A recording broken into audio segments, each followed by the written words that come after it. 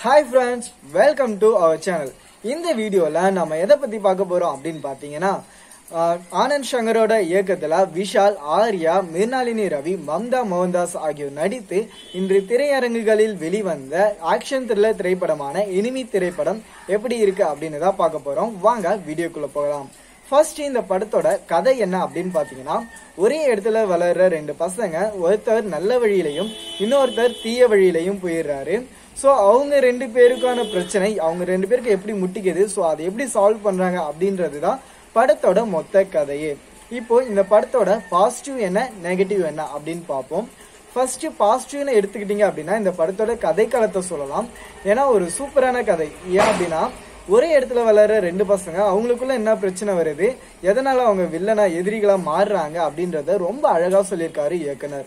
அதுக்கப்புறமேட்டு இந்த படத்தோட ஸ்டன் மாஸ்டர் ஏன்னா ஸ்டண்ட் காட்சிகள் ஒவ்வொரு காட்சிகளும் தெரிக்க விட்டுறாங்க. ஸ்டண்டில் அவ்வளோ சூப்பராகவே பண்ணியிருக்காங்க அப்படின்னு சொல்லணும். அதுவும் விஷால் ஒரு காட்சியில் சேசிங் பண்ணிட்டு போவார் ஒருத்தரை. அவர் ஜோசப் அப்படின்றவரை சேசிங் பண்ணிட்டு போவார். அவர் சைக்கிளில் போவார். இவர் ஓடி போய் சேஸ் பண்ணி பிடிப்பார். அண்ட் அந்த காட்சி இன்னமும் என் கண்ணுக்குள்ள அப்படியே நிற்கிது அப்படின்னு தான் சொல்லணும். அந்த அளவுக்கு சூப்பராகவே பண்ணியிருக்காங்க எல்லா காட்சி அமைப்பும் சரி. அதுக்கப்புறமேட்டு பின்னணி இசை. இந்த படம் ஒரு ஆக்ஷன் த்ரில்லர் திரைப்படம் அப்படின்னாலும் இப்போ ஒரு ஹாரர் திரைப்படம்னா அதுக்கு மியூசிக் ரொம்ப இம்பார்ட்டன்ட் அதே மாதிரி ஒரு ஆக்ஷன் த்ரில்லர் படம் என்னும் போது அதுக்கும் பேக்ரவுண்ட் மியூசிக் ஒத்து போகணும் ஆக்ஷன் த்ரில்லருக்கும் ஏற்றவாறு மியூசிக் இருந்தால் தான் படம் பார்க்க பிடிக்கும். ஸோ அந்த அளவுக்கு சூப்பராகவே ரெண்டுமே ஒன்றி போயிருக்கு. அண்ட் ரொம்ப அழகாக இருக்குது அப்படின்னு தான் சொல்லணும். நெக்ஸ்ட் பார்த்தீங்கன்னா இந்த படத்தில் வர காட்சி அமைப்பு. ஒவ்வொரு காட்சியும் ஒளிப்பதிவாளர் சூப்பராகவே ஒவ்வொரு காட்சி எப்படி செதுக்கியிருக்காரு அப்படின்னு தான் சொல்லணும். இதில் ஃபுல் கிரெடிட் யாருக்கு அப்படின்னு பார்த்தீங்கன்னா இயக்குனர் அப்படிக்கு தான். ஏன்னா அவருக்கு ஒரு பெரிய ரெஸ்பான்சிபிலிட்டி இருக்கு. ஆர்யா விஷால் அவங்க ஏற்கனவே அவங்க காம்பினேஷனில் வந்து அவனிவன் படம் ரொம்ப ஹிட் ஆயிருச்சு.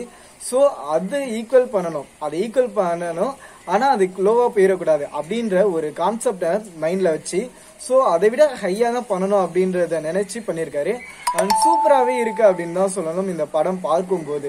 ஏன்னா டேரக்டர் அந்த அளவுக்கு பார்த்து பார்த்து அவங்க சேர்ந்து நடிப்பை வாங்கலை அவங்கள வாழ சொல்லியிருக்காரு அந்த கேரக்டராகவே அப்படின்னா ரொம்ப ஊறி போய் அவ்வளோ சூப்பராக கேரக்டரோட ஒன்றி போய் நடிச்சிருக்காங்க எல்லா கேரக்டர்ஸுமே சரி.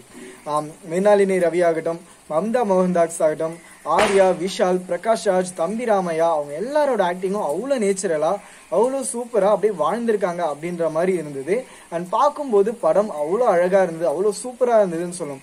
ஒவ்வொரு ஸ்டன் காட்சிகள்லாம் விசில் பறந்துச்சு தியேட்டர்ல அப்படின்னா அது மிகையாவாது ஏன்னா அது ஒரு பெரிய ஒரு தீபாவளி தமாக்காவா இருந்துச்சு படம் அப்படின்னு தான் சொல்லணும்.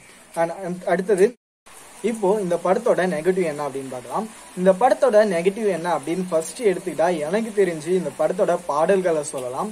பாடல்களில் இன்னும் கொஞ்சம் ஏதாவது பண்ணியிருக்கலாம் அப்படின்ற மாதிரி தான் தோணுச்சு.